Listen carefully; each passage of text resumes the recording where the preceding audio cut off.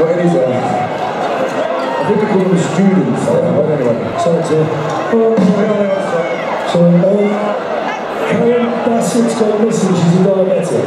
Karen, meet Lee Bassett at reception. Bought some chocolates.